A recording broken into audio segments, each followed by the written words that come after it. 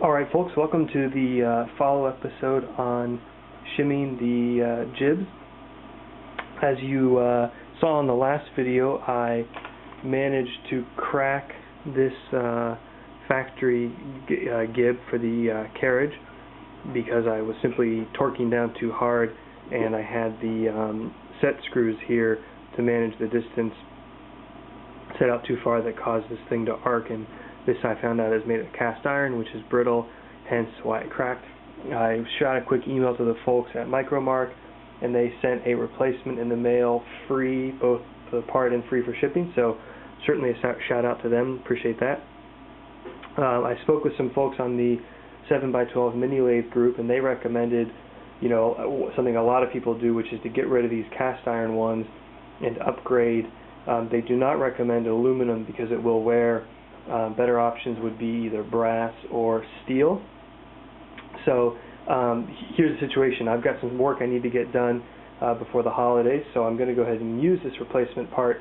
But I think when I'm uh, doing some traveling for the holidays, I'm going to be uh, at a place where I've got some access to bigger equipment and some steel, so I'm going to go ahead and make a couple replacements of these out of uh, some form of uh, steel. In the meantime, though, what I am going to do is just quickly show you how I'm shimming these. I shimmed the back one here and slid it on and I've got a pretty good fit. So I'm going to go ahead and do the front gib. As you notice I've torn down my whole uh, cross slide. You'll see this here in a second. I've got the uh, gibs laying on there so I don't want to turn over right now. But quickly what I wanted to show you how I did this is, uh, and this is my first time working with shims so this is probably some pretty uh, you know, crude looking shim work, but hopefully it'll do the trick. I took a piece of um, 032 aluminum sheet metal or aluminum sheet, and then I used a just a pair of tin snips here to cut out this notch to uh, pretty close to a flat surface. And I set this in a vise, and I used a flat file, oops, as shown here, and when that piece is in the vise I just filed this down so I got it nice and flat. What that allows me to do is set this shim right over there perfectly. Now I didn't think about it. I should have gone ahead and made the shim the full width. I was experimenting with a different design earlier and it just didn't occur to me but um, should work for now with the little side pieces which are important. Otherwise if you don't have these shims on the outside edges as well when you set the two uh, screws here, you'll end up pinching and bowing the cast iron again, and that's no good. You'll also you, will run run the risk of both breaking the cast iron, plus your uh, gib will be tighter on the ends than it is in the middle. And the idea here is to have the gib flat across at just the right height. So what I did was this piece of 032 aluminum, and then I used two pieces of uh, this is three thou inch brass shim stock, which I bought from Enco. This is uh, 60 inches, so 5 feet, uh, 6 inches wide, 30 3 thou thick. I think it was only $15, and that's probably enough to last me for a decade. Um, cut out two pieces, and that was my sort of test fit to get the right feel. I guess the theory behind this is that the gibs um, actually aren't supposed to be riding or wearing directly on the ways, but rather, you know, a thou or less off to give you the right uh, tight fit. Um, the whole reason I'm having this problem is I was using a boring bar and my whole carriage was wobbling um, ever so slightly, but but certainly noticeable enough to affect the boring bar operation, which is why I've gotten into this whole operation. So what I want to do quickly here is uh, just show you. Um, I'm going to set these gibs on here. It's a little tricky here. I need to use two hands in a second um, do that, put my gib back on, tighten it down, and I'm going to show you the fit I get. Okay, I laid the gib um, just over top of my shims, and then I put the center screw in, just snugged it down, snug down the side too, and now um, now that it's snug, I can adjust the shims a little if needed. Um, the most important thing, make sure they're snug here, is that they are not protruding um, in the um, path of the V groove there, and you can see they shouldn't be. The same with my other one.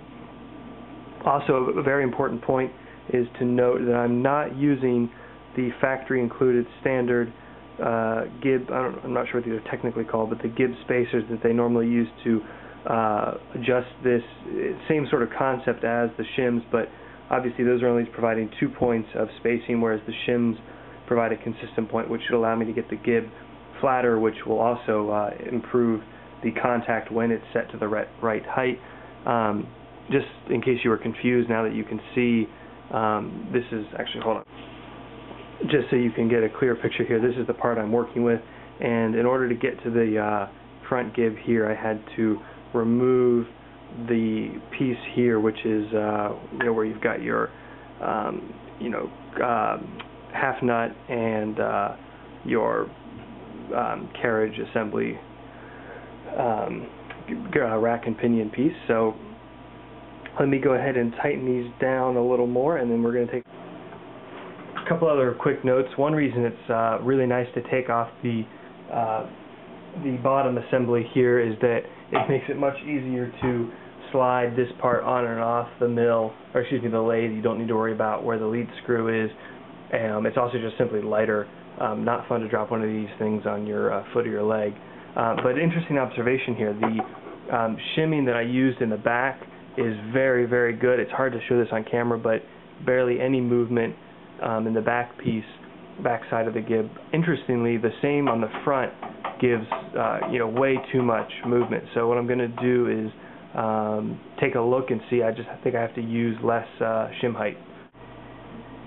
All right, folks, I'm back. Uh, not gonna lie, this one was a little bit of a pain in the ass, but um, that's partly because the only materials I had to work with were either 32 um, thou aluminum or through the um, 3 thou um, brass shim stock, and the shim height required for this front gib ended up being um, about 7 of the 3 thou gibs, so 21 thou. Um, what was interesting was that the um, right side of the carriage seemed to be a little bit tighter, so I put an extra piece um, on these two sides.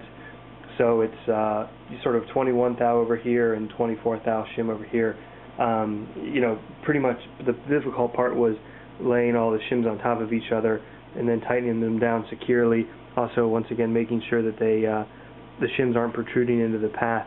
Um, if I had to do this again, I would definitely buy some thicker shim stock so I didn't have to deal with all those, you know, seven shim pieces. And I'm not sure if it's actually going to stay over time. They might, uh, you know, wiggle loose or cause problems because there's so many. But hey, give it a try and see. Also, just wanted to comment that I'm tightening these down pretty tight. I would say definitely, um, you know, well beyond snug.